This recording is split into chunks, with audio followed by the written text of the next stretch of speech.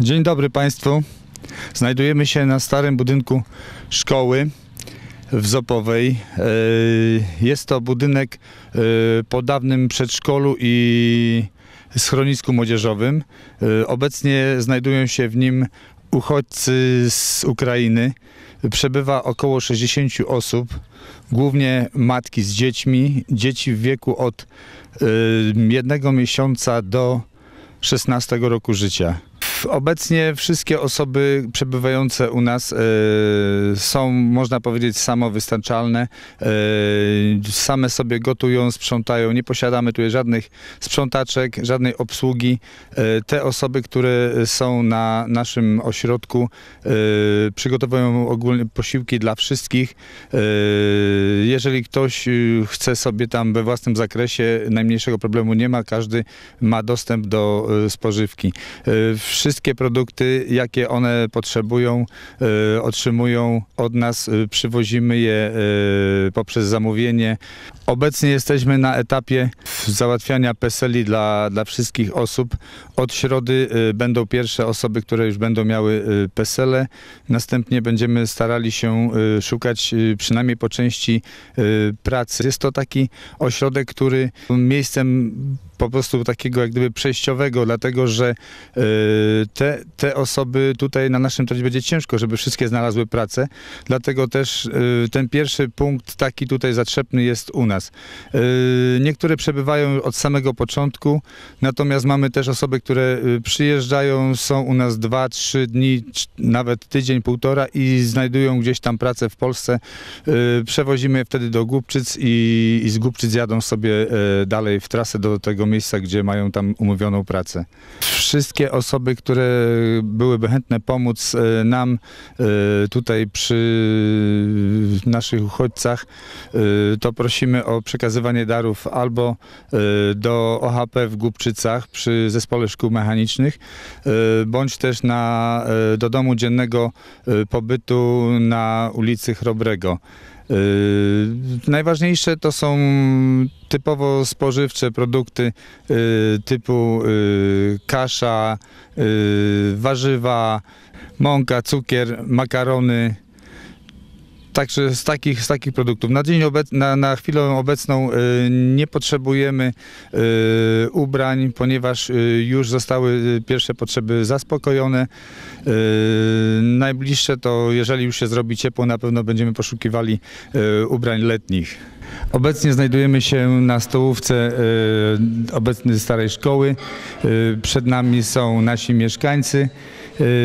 Ewentualnie mogę zapytać, jak tam się czujecie u nas, czy czegoś wam brakuje, jak to jest?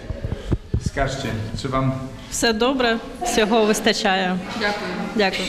Да. niczego wam nie brakuje? Нічого. Tylko domu rodzinnego. Все. А так все добре, дякую. Дуже вдячні за те, що ви нам надаєте все. Всього достатньо. Żenia, Żenia powiedziała, że y, wszystko tutaj mają, są bardzo zadowoleni, y, dobry nocleg y, na miejscu, wyżywienie również. Y, brakuje im tylko jednego y, w tym całym zdarzeniu, brakuje im tylko własnego domu, żeby mogli z powrotem wrócić i być na, na swoim terenie. E, Откуда ty przyjechała? З Дніпропетровської області. Z kim ty, z kim ty przyjechałaś? Е, Зі своєю сестрою і нашими дітьми. Y, E, przyjechałaś ze swoją siostrą i ze swoimi dziećmi. E, skolko was jest? Czworo. E, czworo, tak? Czy szukacie pracy tutaj u nas? Tak, tak, szukamy pracy, jak otrzymamy PESEL. Jak otrzymacie PESEL, będziecie szukać pracy. Czy chcecie dać dzieci do szkoły, do nas, do przedszkola? Tak, byłoby pogano. Byłoby dobrze, super. Czy chcecie zjeść ostać ili, ili iskać nowego miasta? Ну то якщо буде ближче до школи і до роботи, було б непогано знайти щось поближче. Може, якусь кімнату чи квартиру. Y, Mówią, że jeżeli, jeżeli byłaby taka możliwość, byłaby tutaj praca na miejscu, dzieci do szkoły blisko, to chętnie by tu zostały. Dziękuję serdecznie. Życzę miłego dnia. Skaż, jak ciebie zawód? Ясика. No, głośniej. Я, м- я мультивирую. Mhm. A co ty, ty, ty сейчас делаешь? Oglądasz bajki, tak? ta. Tak. A jak tutaj jest u ciebie? Wow, się. Tak. Jesteś zadowolona? Tak. Ta. Dobrze. A masz tutaj kolegów, друзей? Ta. Tak. A co wy działajecie wieczorem? Łajem. Gulajecie. Bawicie się, tak? A jak ciebie zawód? Jak ty Ma- masz na imię? Maksim. Maksim. A ty tu już jesteś długo? Długo tu już jesteś? Tak. Tak. I jak tutaj jest dla ciebie? Ну, клево, все нормально. Wszystko normalne, wszystko dobrze, tak? Jesteś zadowolony?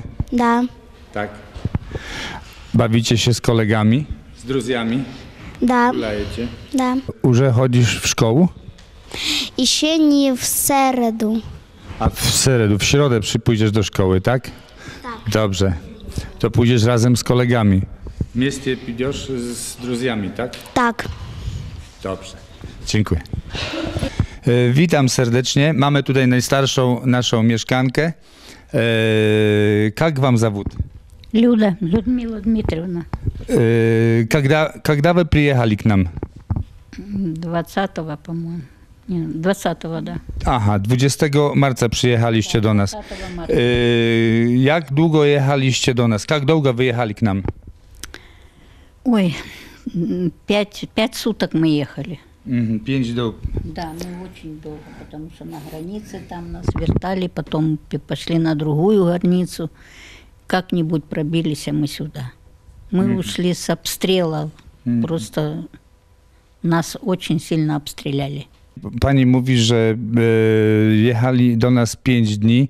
E, ten, cały, ten cały tabor ostrzelali. Kuda, e, откуда вы приехали? Гуляй-поле. Gdzie, gdzie to jest? Это Запорожская область. Aha, to jest e, region zaporowski. Да, регион Э, Запорожский. E, dobrze, a powiedzcie, jak wam tutaj jest u nas? Jak u was? Очень хорошо. Nравится нам. E, Очень хорошо. czyli wam się podoba tutaj, jest dobrze. Niczego wam nie brakuje? Нет, ничего. Все хорошо. Dziękuję bardzo. Życzę wam wszystkiego dobrego, dużo zdrowia. И вам благодарность большая. Dziękuję.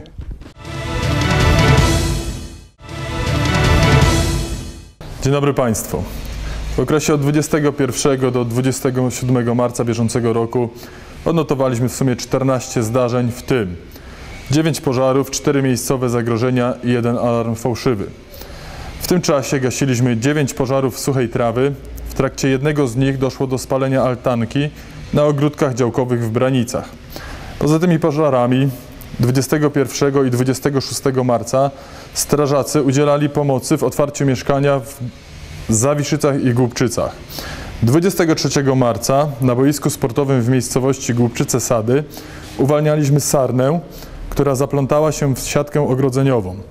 27 marca zastępy Ochotniczej Straży Pożarnej w Branicach i jednostki ratowniczo-gaśniczej w Głubczycach udzielały kwalifikowanej pomocy przedmedycznej nieprzytomnej kobiecie w Jakubowicach. Dziękuję bardzo za uwagę.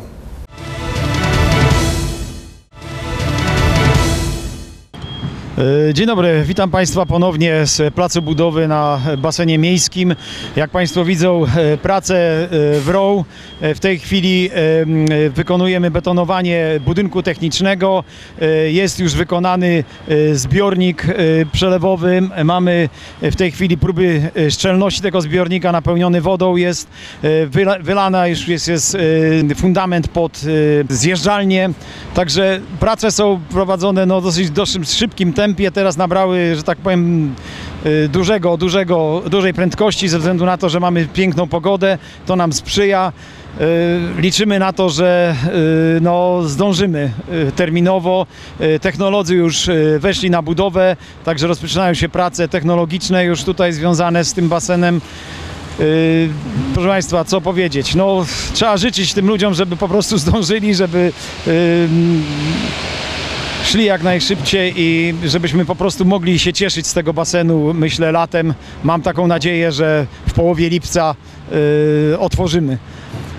Co jest, cóż jeszcze można dodać? No mogę tylko dodać tu jeszcze, bo to taka, mamy teraz taką sytuację też w świecie. Y, Część ludzi, którzy tu pracują, to są y, ludzie z Ukrainy, także też przeżywają ciężko tą wojnę. Część ludzi wyjechała, część jeszcze pozostała. Nie wiadomo jak to będzie dalej, ale życzymy im wszystkiego najlepszego i wierzymy w to, że to szaleństwo się skończy. Dziękuję Państwu i zapraszam ponownie na spotkanie.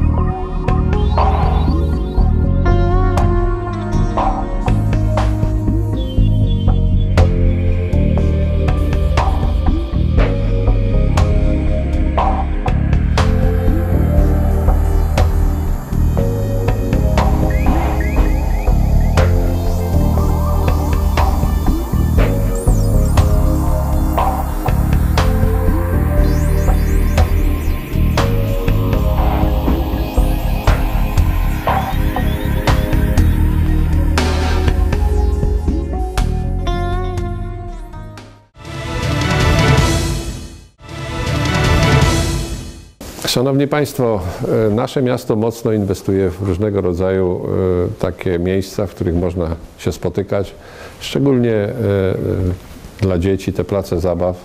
Wydajemy sporą ilość pieniędzy co roku po to, żeby były coraz nowsze te urządzenia, ale też, żeby je utrzymać w odpowiednim standardzie. Niestety jest w naszym mieście grupa młodzieży, bo to chyba jest młodzież, chociaż takiej całkowitej pewności nie mamy, która tego w ogóle nie szanuje. Za chwilę zobaczą Państwo obrazki z tego e, nowego placu zabaw, który postawiliśmy w, dwa lata temu w e, okolicach Baszty. To była taka jakby rozbudowa tego placu zabaw, który powstał przy okazji rewitalizacji parku. No i myślę, że wiele tych zdjęć, które za chwilę Państwo zobaczą, Was zaszokują, w jaki sposób jest to niszczone. Można jasno powiedzieć, że to już ręce opadają, bo wielokrotnie na, nagrywaliśmy te programy. Mówiliśmy o tej dewastacji, o tym wandalizmie, który e, u nas się pojawia, ale no tutaj już e, to przechodzi wszelkie pojęcie. Ja bym miał ogromny apel przede wszystkim do rodziców, żeby się przyjrzeli temu, co robią ich dzieci w chwilach wolnych, ale także i służb, które są do tego powołane, policji. Straż Miejska w tej chwili będzie też e, tutaj przeze mnie instruowana, ale ona na razie póki co jest w gestii pana wojewody w związku z COVID-em. Być może zostanie to odwołane i będziemy e, starali się tu temu przeciw, przeciwdziałać, ale też trzeba sobie jasno powiedzieć, jeżeli nie będzie takiej u nas obywatelskiej, y, jakby obywatelskiej no, powinności, żeby z tym walczyć, żeby, żebyśmy zwracali na to uwagę, to trudno będzie to opanować. To nie jest duża grupa ludzi według mnie, ale, ale e, no, trzeba, e, trzeba w końcu nad tym zapanować bo to się też i rozrasta. Ja też apeluję do e, nauczycieli naszych, żeby też przy, przyglądali się temu, co ta nasza młodzież w chwilach wolnych robi u nas w parku czy na tych obiektach. Y, To wszystko jest dla ludzi, proszę Państwa. Po to myśmy to budowali. Po to, po to e, e, staramy się o to, żeby to utrzymać. No ale właśnie starajmy się, żeby żeby coś jeszcze zostało i żeby nie ponosić coraz większych kosztów. Te wszystkie e, straty to nie są e, pieniądze, które spadają nam z nieba. To są pieniądze, które my czy państwo zabiera od was, od waszych zarobków po to, żebyśmy my mieli czym inwestować i, i z czego te obiekty utrzymywać. Więc w naszym interesie, takim dobrze pojętym interesie jest, leży to, żeby, żeby one były szanowane i żeby wie, przez wiele lat służyły tutaj naszej społeczności.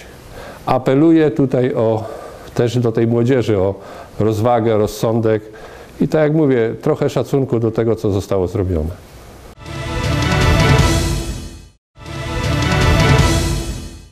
Dzień dobry. Witam Państwa serdecznie i serdecznie Państwa zapraszam na coroczny kiermasz wielkanocny do Miejskiego Ośrodka Kultury w Głubczycach w dniach od 5 do 7 kwietnia.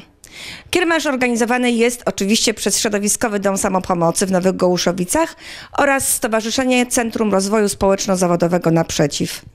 Zapraszam serdecznie, tym bardziej, że w tym roku czeka nas dodatkowa atrakcja o ile możemy to tak nazwać. Otóż panie z Ukrainy, które przebywają na terenie naszego powiatu i naszej gminy, będą y, sprzedawały smakołyki z Ukrainy, które same własnoręcznie upieką, ulepią, zapakują i można będzie przyjść, zakupić sobie y, takie pyszne pyszne jedzonko, powtarzam, i w ten sposób wesprzeć y, uchodźców, którzy przebywają na terenie naszego powiatu. Zapraszam serdecznie w dniach od 5 do 7 kwietnia w Miejskim Ośrodku Kultury w godzinach od 9 do 17. Można będzie zakupić piękne ozdoby wielkanocne wykonane przez uczestników środowiskowego domu, a także smakołyki z Ukrainy przygotowane przez panie, które przyjechały do nas i przebywają na terenie naszego powiatu. Dziękuję.